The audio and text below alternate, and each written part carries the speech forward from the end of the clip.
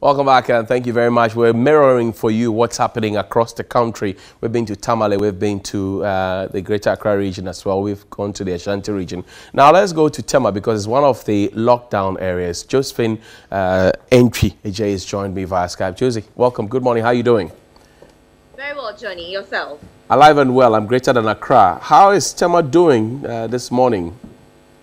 Well, Tema, Tema, Tema, I, I wouldn't even have the words to describe how it looks now. It's, it's almost like a, a ghost town. Wow. Most of the epic areas where you find people uh, Community 1, Community 7, where any day the place is populated, so you find people on the street. Mm. When I went round, the streets are deserted, people are at home. The only people you find on the streets are people who are going to perform essential duties, Mm. like the nurses, and then a few people who also go to the port. You know, the port was initially excluded, but Right. later on it was included. So, Okay. uh, what happened was that yesterday there was Mm. a very chaotic situation at the long room. What happened? The freight forwarders, who you know, they, they have large numbers of freight Okay. forwarders. Mm. So there was a committee that was set up for them to get. Mm. Without tax, please, no security will allow you access into the port. So Right. yesterday, about 2,000 of them had their tax. And Mm. today, a few are also securing them for them to get access to the port and work. This morning, the people that I came across were Okay. mainly uh, the essential duty people, Mm. nurses, those working at the port. And I, I- I can say that, Johnny, um, the streets are deserted, but Mm. the police and the other securities are working really, really hard. Okay. Tema has about um, several communities, Right. 1 to 25. Absolutely. But they have done it so strategically in a way that um, you find checkpoints within all the, the, the link areas. Mm. Okay. So if you come out, you might Mm. meet a security officer who will Okay. ask you, where are you going? There's a central there's, there's a central point which is community one where you know usually people go and congregate to pick their vehicles either to Accra or other places or maybe at the main roundabout. What are the situations there? Well, transportation is quite um, a problem for a few essential workers who don't have vehicles, who are Okay. not driving. Okay. For instance, uh, uh, if, if you're not driving and you work in Accra and Mm. you're an essential worker, you have to go to the, the transport station. Okay. Now, you know, yesterday there was a directive for the the drivers to Mhm. comply. So Right. let's say a bus which is taking about 25 people, Okay. he might have to take like eight. But even to get the eight people to get the bus to fill for them to settle is a problem. So Okay. if you are an essential worker Mhm. and you work in Accra, let's say you work at Beach, you get to the transport station around 6 a.m. People are not coming, so Mm. you have to hold on till you get about five or four before the car moves. Wow. So that's that's a bit of the challenge.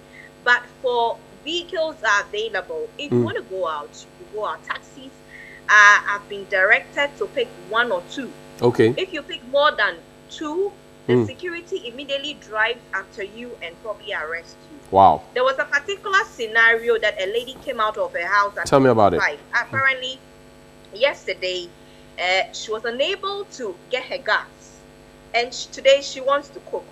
She is not an essential worker, Mm. so the scenario was that the, the security man, the military uh, man, had to Mm. follow her to the gas filling station Okay. for her to fill her bottle Okay. before take her back home because they are ensuring that um, they are complying to the directive, but they are also doing it Mm. with a human face, Johnny. Th- There were exemptions, for example, for food sellers or food vendors, mobile money operators, and all of that. Tell me, what picture can you paint for me from Tema? Are they alive and well? Are they active in business? Or are they also on a shutdown?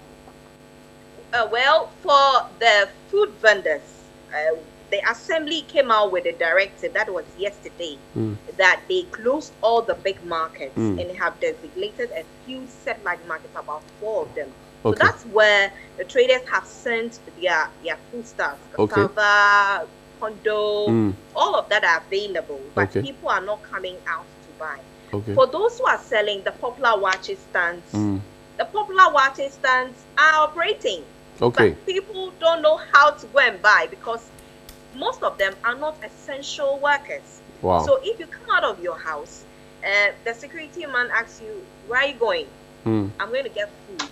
It means that security, whether they are a team of three or two, one has to follow you to where you're going Okay. and make sure that you you're actually buying the waakye. If you're not able to convince them that Mm. you are actually purchasing food or something very vital, I'm afraid you they, they'll pick you up. That, that must be tough for the security detail if they have to follow everyone around uh, to- just to ensure that they are doing what they said they were going to do. That must be really tough. exactly.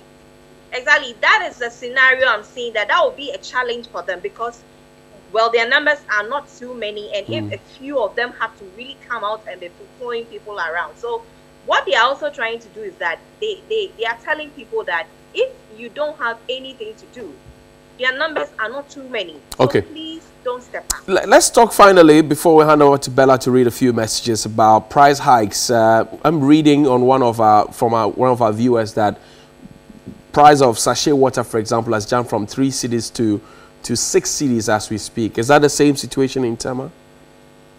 Uh, for water, no, we haven't had any hikes in water. It Mm. was mainly the foodstuffs Okay. that was really going high, the Okay. gari and a few Mm. others. But for water, no, Johnny. Josephine, I thank you very much indeed for your time. And that's our correspondent in Tema, working from home, actually. So TV3 Media General have devised a mechanism where we have most of our reporters working from home so they don't have to come all the way. And she's been reporting from Tema.